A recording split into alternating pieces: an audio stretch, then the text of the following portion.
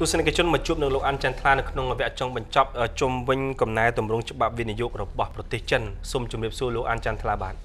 បាទជំរាបសួរលោកប៊ុនសំផស្សកញ្ញាសៃពៅនិងកញ្ញាវិជ្ជការបាទចាចាលោកអានចន្ទថ្លាយើងនិយាយថាហេតុអីមកទល់នៅពេលនេះទើបចិនរៀបចំកំណែតម្រង់ច្បាប់វិនិយោគទៅវិញបាទ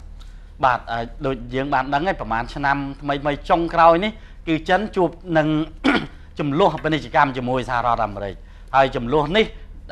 បានជះឥទ្ធិពលអវិជ្ជមានទៅដល់សកម្មភាពវិនិយោគនិងការធ្វើពាណិជ្ជកម្មរវាងចិនជាមួយនឹងសហរដ្ឋអាមេរិកនិងជាមួយនឹងបណ្ដាប្រទេសមួយចំនួនទៀតដែលនិយាយរួមគឺឥទ្ធិពលមិនល្អទៅដល់សេដ្ឋកិច្ចនៅពេលនេះយើងសួរថាហេតុអីបានជាចិនចាប់ផ្ដើមអនុម័តច្បាប់វិនិយោគសំដៅលើច្បាប់វិនិយោគសម្រាប់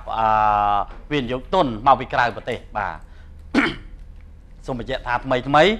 បន្ទាប់ពីមានចំនួនពាណិជ្ជកម្មរវាងសហរដ្ឋអាមេរិកហ្នឹងគឺចិនបានជាមួយសហរដ្ឋអាមេរិកបានព្រមព្រៀងគ្នាថានឹងដោះស្រាយ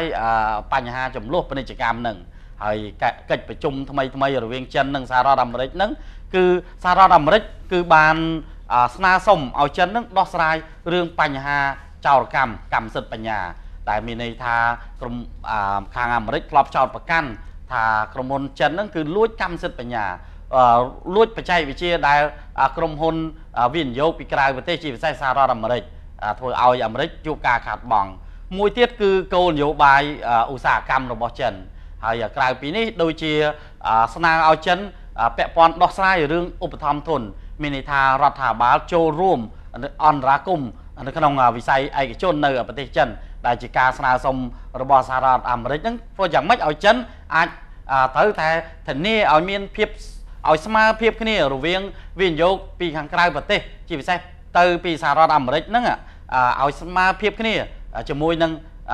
អ្នកវិនិយោគនៅប្រទេសចិនកុំធ្វើឲ្យអ្នកវិនិយោគពីក្រៅប្រទេសហ្នឹងចាញ់ប្រៀបដោយសារការជួយជ្រោមជ្រែងរបស់រដ្ឋាភិបាលរបស់ចិននេះឯង អញ្ចឹងហើយបានដើម្បីឆ្លើយតបហើយនឹងជាដំណោះស្រាយទៅនឹងចំនួនពាណិជ្ជកម្មរវាងចិននិងសហរដ្ឋអាមេរិកហ្នឹងបានយើងឃើញថាចិនចាប់ផ្ដើមអនុម័តថ្មីថ្មីកន្លងទៅនេះហ្នឹងគឺអនុម័តច្បាប់វិនិយោគដល់ចំពោះវិនិយោគទុនបរទេសថាតើកែតម្រង់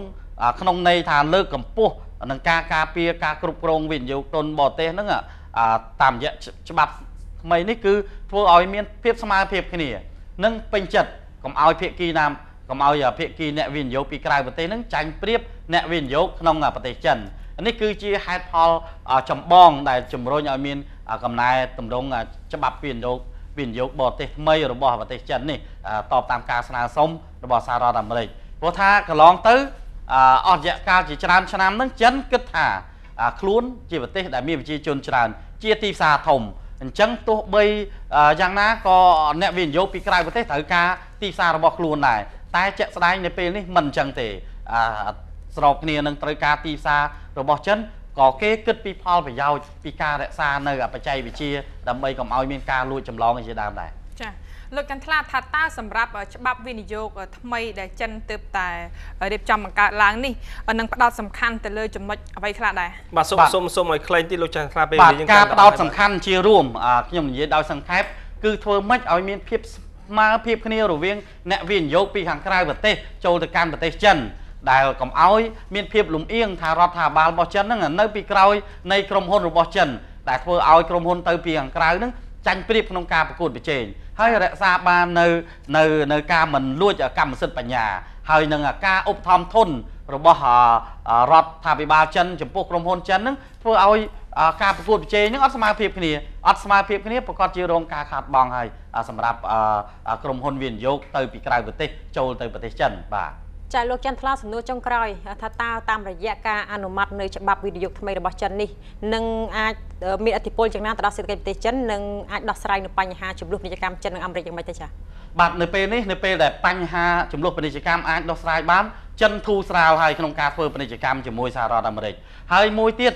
ជាសញ្ញានៃសម្ពាធអវិជ្ជមានផ្នែកចំនួនដែលកើតចេញពីចំនួនពាណិជ្ជកម្មកន្លងមកហ្នឹងចិនគឺចាប់ផ្ដើមហើយធ្វើម៉េចគឺការបន្ធូរបន្ថយពន្ធទៅដល់ក្រុមហ៊ុនប្រមាណជិត18លានក្រុមហ៊ុននៅប្រទេសចិនមានថាកាត់បន្ថយពន្ធដើម្បីលើកលើកទឹកចិត្តដល់សកម្មភាពនៃការវិនិយោគ អអញ្ចឹងអត្តពលនៅពេលដែលច្បាប់ថ្មីនេះនឹងតេទៀងទៅដល់ក្រុមហ៊ុនវិនិយោគពីក្រៅប្រទេសទៅប្រទេសចិនដែលនឹងជួយធ្វើឲ្យសកម្មភាពនៃការវិនិយោគនិងដំណើរការសេដ្ឋកិច្ចរបស់ចិននឹងបានប្រសើរជាបានប្រសើរឡើងវិញព្រោះថាទោះបីជាកំណើនសេដ្ឋកិច្ចរបស់ចិនខ្ពស់ជាង6%ក្នុងមួយឆ្នាំក៏ដោយតែបើយើងធៀបប្រមាណឆ្នាំ3 4 5ឆ្នាំមុនគឺជាអត្រាមួយទៀតទេប្រមាណឆ្នាំមុន7 8%ហើយចំពោះការដោះស្រាយពាណិជ្ជកម្មជាមួយសហរដ្ឋអាមេរិកវិញ នៅពេលដែលយើងមើលទៅលើច្បាប់វិនិយោគថ្មីរបស់ច្បាប់វិនិយោគបសម្រាប់ជនបរទេសទៅវិនិយោគនៅប្រទេសចិនថ្មីនេះគឺឆ្លើយតបបានមួយផ្នែកធំទៅនឹងការស្នើសុំរបស់សហរដ្ឋអាមេរិកអញ្ចឹងជាសញ្ញាល្អថាការដោះស្រាយចំនួនពាណិជ្ជកម្មរវាងចិននិងសហរដ្ឋសហរដ្ឋអាមេរិកនឹងនឹងប្រព្រឹត្តទៅដោយរលូនបាទសូមអរគុណលោកអានច័ន្ទថ្លា